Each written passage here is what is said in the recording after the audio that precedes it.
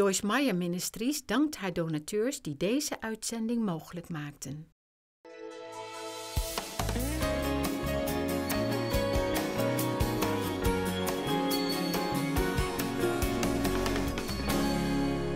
I started talking to you last night about anger, and we started in Ephesians 4 that says, When you're angry, do not sin. Don't ever let the sun go down on your anger. So it doesn't say that if you get angry, when you get angry, we all experience anger at different times in our life. The feeling of anger is not a sin, it's what we do with that anger that can become a sin. You don't want to repress it. You don't want to express it wrongly. We need to control ourselves. That's why God has given us self-control. I want to encourage you to teach your children properly about anger. Don't make them think that every time they get angry that they're doing something wrong, but teach them to control their anger and not get violent and do things that don't make any sense. If you want your children to not be angry children, then you need to not be an angry parent. Because if they're living in a house full of anger, they're going to pick up your habits. That's exactly what I did from my father. And so we started learning last night how to fight like a Christian when somebody mistreats us or abuses us. The answer to it is not to try to get them back. It's not to return evil for evil, but it's to trust God and do good. Put our trust in God. God, you're our vindicator.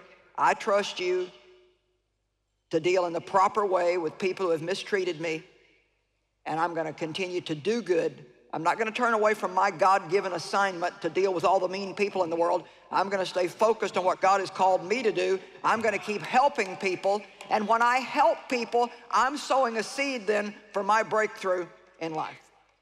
We can easily understand, let's just say that there's 100 people called to do different things in the kingdom, to help the poor, to be missionaries, preach the gospel, worship leaders, whatever. So let's just say 100 little demons are sent out from hell every day, one assigned to each one of those called, anointed Christians. And all that demon's job is, is to set them up to get them upset, to offend them, to put people in their way that will uh, mistreat them, to hurt them. And so if these hundred Christians don't understand what I'm talking about today or what God teaches in his word, then they're gonna spend all their time fighting these battles. They're gonna stay angry all the time. They're gonna complain all the time. They're gonna get bitter and resentful, and they're not gonna accomplish what God has called them to do. It's very easy to understand that we war not with flesh and blood, but with principalities and powers and wickedness in high places. And we are in a war, and we do need to fight, but we have to learn how to fight like a Christian. The only way that you can overcome evil is with good. You cannot fight evil with evil. You cannot fight anger with anger. The only way, understand me today, the only way, the only way to overcome evil is with good. God does not stop being good because the world is full of evil. Did you hear me? God does not stop being good because the world is evil. Now, we do have to fight a fight. We are in a war. The body of Christ is said to be an army, the army of God. And there's places in the Bible where we're referred to as soldiers in the army of God. And so in 1 Timothy chapter 6 verse 12, Paul said to Timothy that he was to fight the good fight of faith. So when you're being attacked, one of the ways to fight is just to stay in faith and to keep saying and keep saying and keep saying, God, no matter what's going on in my life, I trust you. Fight the good fight of faith, lay hold of the eternal life to which you were summoned and for which you confessed the great confession of faith before many witnesses. So he's saying, don't just tell people, but fight that good fight of faith. Do you realize that when you've got a problem and instead of getting upset about it, you open your mouth and say, God, I trust you, that you're fighting like a Christian? Come on, let's say it again. When you have a problem, when you find out that somebody lied about you, when somebody didn't invite you to the party, when somebody rejected you, when somebody ignored you, those are minor things. Let's go deeper. When somebody abuses you, when somebody misuses you, when you don't get the raise that you justly deserved at work, when somebody else gets the promotion that you should have had, anger is not the way to solve the problem. Now you're going to feel anger. The first response is you're going to feel anger, and I would too. But that's not my clue to just go ahead and get angry and have a fit. Just because I feel anger, what I need to do is say, uh-oh, the devil's trying to steal from me again. God, thank you for the fruit of self-control. By your grace and mercy, I'm gonna just calm down. Calm down. And if you have a hard time calming down, you need to try what we had here earlier when we were worshiping God and Jackie was singing that song about the Holy Spirit, get yourself some good worship music, and if you're on the verge of having a fit, turn it on, get in a room by yourself, and just go, oh.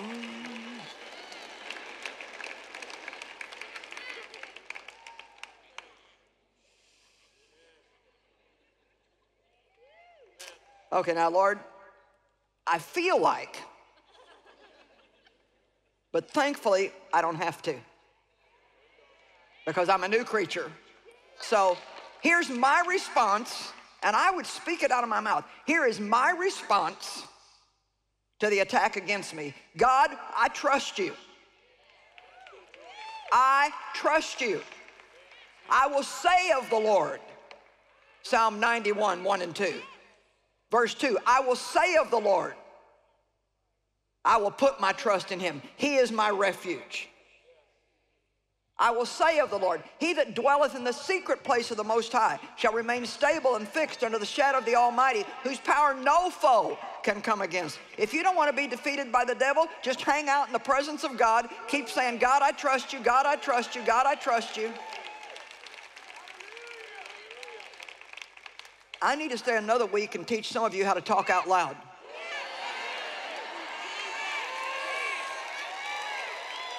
And I mean to do something besides murmur about all your circumstances.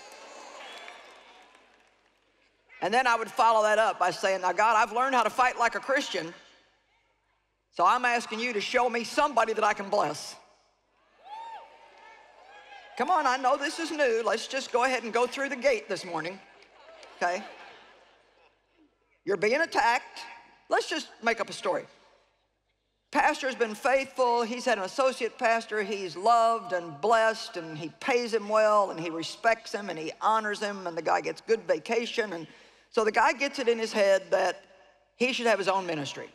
So instead of doing it right and going to the pastor and telling him what's in his heart and asking him to help him and how's the right way to go about this, he begins to cause dissension by finding things wrong with the pastor and talking about the pastor among the other people that he knows in the congregation. I don't know, you know, pastor seems to me like he's kind of losing his anointing. And did you see that new car he bought? I bet, you know, I'm not giving my money for him to drive some big fancy car.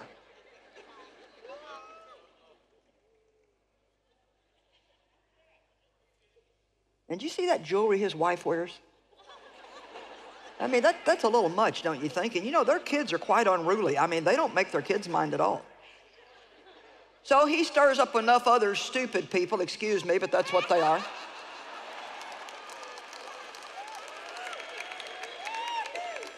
It's bad enough for somebody to do that, but it, it, it, we're just as dumb as they are if we listen to them. When somebody comes to you finding fault with somebody, especially somebody that you have loved and admired that's working hard to help you, you need to come back with, well, you know, I don't know about that, but I do know that they've helped me a lot. My life has changed. They're faithful, they're dedicated, they're diligent. Listen to me, it's a trap. It's a demonic trap. Offense comes from a Greek word called scandalon, which means the bait that was hung on a trap that lured an animal into the trap for destruction.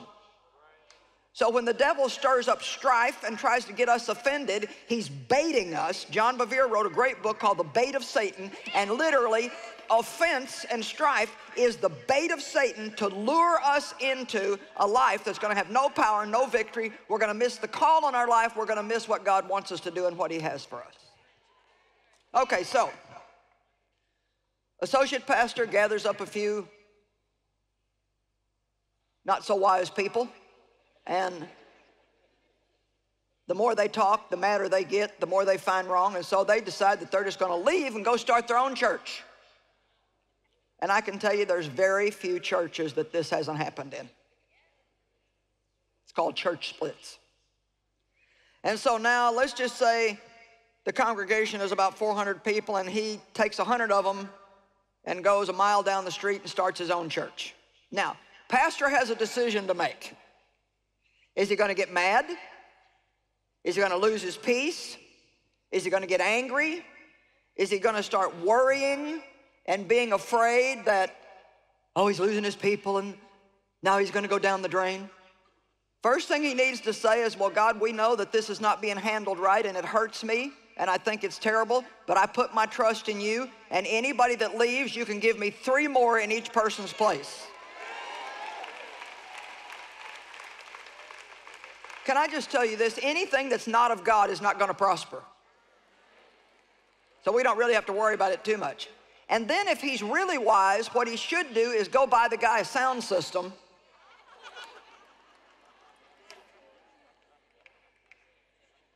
Wow. Why would I want to do that? Because that's the way a Christian fights. That's the way you win your battles. That's the way you win your wars. Now, I know this is like a totally, like, sounds like crazy kind of thinking, but what do we think the Bible means when it says bless your enemies? Is that just a little floaty, spiritual sounding, oh, yes, bless your enemies? There's too many things in the Bible that we never turn into practicality. We just sing about them and we confess them and we, we think they're cute little scriptures and we think somebody else ought to do it. But when it needs to be applied to our life,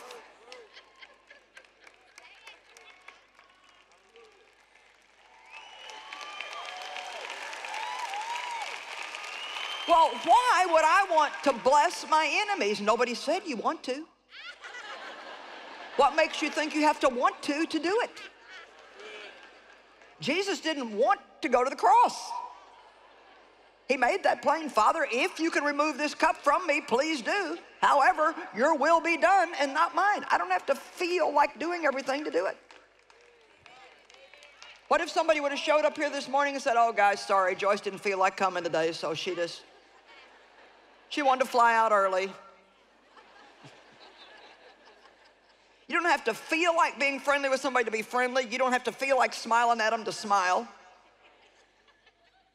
And that pastor doesn't have to feel like buying that guy a sound system to follow the leading of the Holy Spirit if that's what God leads him to do. Is anybody seeing what I'm saying here about the power of being a blessing? Because what happens when he does that, when he trusts God and he does good, he puts himself right clearly in a position for a miracle from God. And that's what we need. 2 Timothy chapter 4 verses 5 through 7. As for you, this is Paul's instruction to Timothy. But let's don't read it like it's just for Timothy. Let's take this in like it's for us. As for you, be calm and cool and steady. calm and cool and steady. Accept and suffer, uh oh, unflinchingly. Whoa. You mean I can't even make a face? Every hardship, do the work of an evangelist, fully perform all the duties of your ministry. So he doesn't get out of fulfilling his responsibility and his duty just because he's having a hardship. Hmm. Let's just say that you sign up to work in the nursery one Sunday a month at church, and your Sunday rolls around and you didn't have a very good Saturday. It's a character test. What are you going to do? You're going to just not show up and not even tell anybody, which that's what a lot of Christians do. They sign up but don't show up. Oh, nobody will miss me. I'm just one person. Or maybe you even do let somebody know that you're not coming, but the whole reason why you didn't come is because you're not in the humor. You don't want to. You had a bad day. Let me tell you something. The only time we grow spiritually is when we do what's right when it doesn't feel right. Come on. I mean, if I feel like doing it, that's no test. But man, if everything in me wants to tell you off and instead I pray for you, now I'm growing. If everything in me wants to bail on my commitment, but because I want to be a person of excellence and integrity, I go ahead and ask God for the grace to do it anyway, and I do it with a smile on my face without complaining, now I'm growing. Come on, it's easy to say, if I said, How many of you want to grow in God? There would not be one hand in here that wouldn't go up. Everybody would lift their hand. Well, you're not going to grow without something that makes you grow. I can't get more muscle unless I lift a heavier weight. Amen? We have to stop being afraid of hard things. We have to stop backing down for the fight.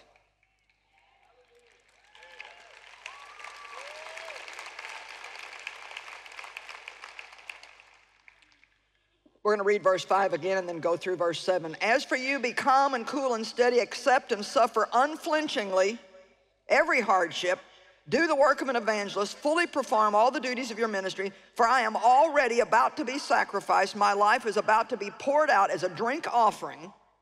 The time of my spirit's release from the body is at hand, and I will soon go free. Now, watch this. I have fought the good, worthy, honorable, and noble fight. I have finished the race. I have kept the faith. Wow. Wow. Wow. You see, I made a decision about 20 years ago that I was going to finish. I was reading John 17, came across verse 4 where Jesus said, Father, glorify me now, for I have completed the work that you have given me to do. And I had a touch from God when I read that, and I began to weep and weep and weep. And I made a commitment to God right there I'm gonna finish my race. With your grace and your help, I want to stand before you and be able to say, I did all of what you wanted me to do. I didn't do 10% of it, I didn't do half of it, I didn't do 90% of it. I didn't quit somewhere along the way because it got hard. I didn't give up because I got old.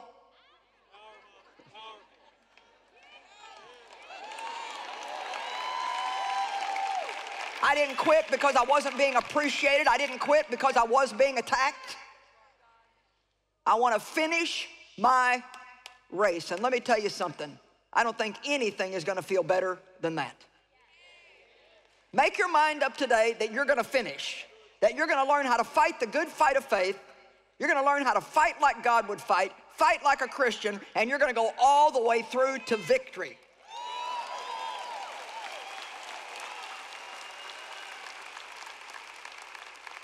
Nobody can make this decision for you. Nobody. I love that scripture. The Bible talks about warfare, it talks about weapons. We're soldiers, we're in the army of God. And we can't win our battles if we're angry. You can't even pray effectively if you're angry. The Bible says, when you pray, if you have anything against anyone, forgive them, let it go. You know these scriptures, don't you? But you know, if I had an open altar up here, maybe not so much now, but if I would have just got up here this morning and said, you know, I'd love to pray for everybody in here who's angry, bitter, resentful, you have some kind of unforgiveness in your heart, just come on down. come on, you're seeing the picture. What do you think we would have had?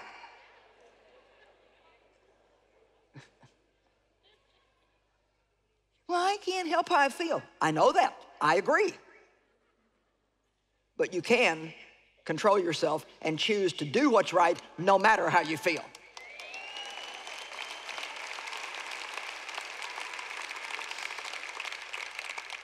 Now, if you were here last night, you might be saying, well, aren't you kind of repeating yourself? Didn't you say this last night? Yes.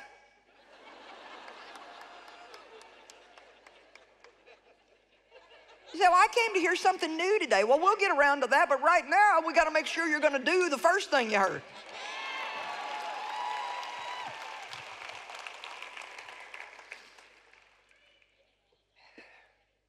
Ephesians 4 30. And do not grieve the Holy Spirit of God. Do not offend or vex or sadden him, by whom you were sealed, marked and branded as God's own, and secured for the day of redemption, of final deliverance through Christ from evil and the consequences of sin. Let all bitterness, now these go together. He's getting ready to tell us how we offend the Holy Spirit. Let all bitterness and indignation and wrath, passion, rage, bad temper, resentment, anger, animosity, quarreling, brawling, clamor, contention, slander, evil speaking, abusive, blasphemous language be banished from you.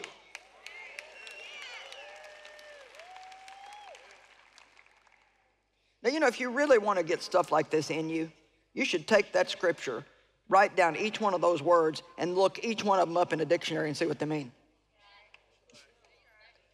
Because, you know, we can just slide over this stuff.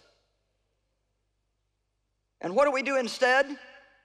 Here's the way to fight like a Christian and become useful and helpful and kind to one another, tender-hearted, compassionate, understanding, loving-hearted, forgiving one another readily and freely as God in Christ forgave you.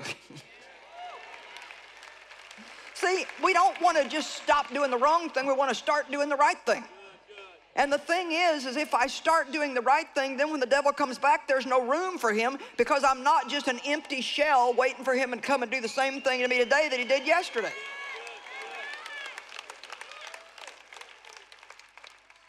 You have no idea how powerful it makes you if you make a decision that you're going to be a lover of people and you are going to be an on-purpose person who doesn't wait to feel like being a blessing to somebody, but you do it on purpose. I wonder how many people sitting in this room made a plan this morning to do something good for somebody today. Now, you actually thought it through. I got my plan. I've already got a target picked out. When I get out of here, somebody on my team is getting a blessing. You know why? I think I've done some damage here today. And you know, I'm tired and I could think, well, I sure hope somebody blesses me. But I think I'm just going to go ahead and give the devil another black eye and just not do good in the pulpit, but just keep doing good.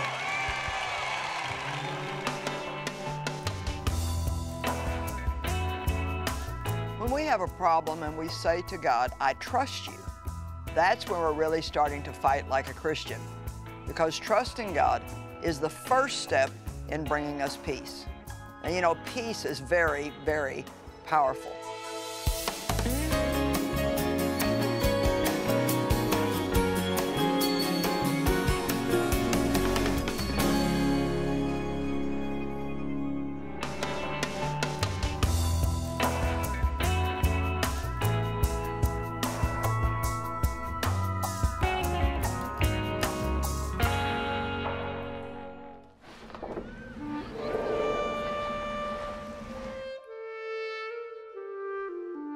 This community likes boys, so they want their boys to go to school first.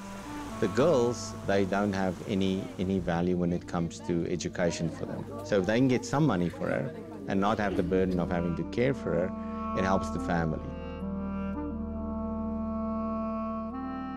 The flags that you see on the homes over my shoulder represent a long-standing tradition that is very difficult on girls. As soon as a very young girl reaches puberty and she's of childbearing years, you'll see these flags above their houses representing the fact that a young girl is available to a man, essentially on the market, up for sale. And at that point, her life changes dramatically. So what they do is they take them out of school and they'll actually go through different activities, teaching them how to cook, how to be a, a wife in the, in the home. But part of it is also how to please a man. And that's through, you know, normal things in the house, but also sexually. So they teach them different things about sexuality and so on. So we are doing anything that we can to help people understand the value of girls. That's the key. And helping these girls by taking them into a program called Imagine Hope. If they would live with us for six months and we would have devotions, lead them to the Lord, really mentor them in how to be a godly woman, and then at the same time teach them how to do some skills, basic things like jewelry making or whatever it is, that they can have some kind of an income that they can bring to their families. This is a good hat. Were you afraid when you thought that you were going to have to be married? Some of my friends, they are already married now, but they are used to suffer in that marriage.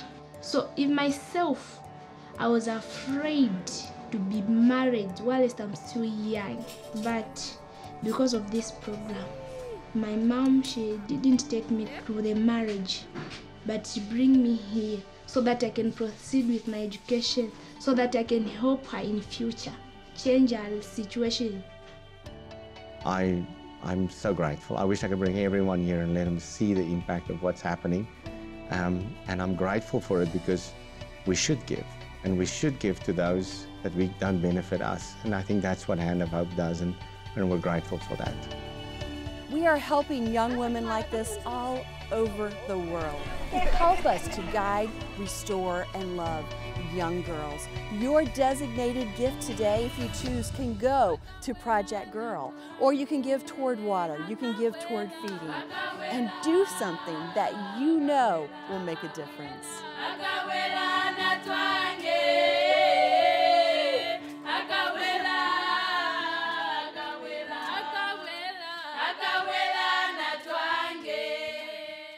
It's very painful and difficult to go through life with a wounded soul. I know because for years I lived that way due to being sexually abused by my father when I was a young child. But I learned that God could heal even my deepest hurts if I would just open my heart up and let Him in. And in my new book called Healing the Soul of a Woman, you too can discover how to allow God into those wounded places in your life. God has a brand new beginning for you, and you do not have to spend the rest of your life hurting. Bestel nu Innerlijke Genezing van de Vrouw via onze website joyce-meyer.nl of bel 026 20 22 100.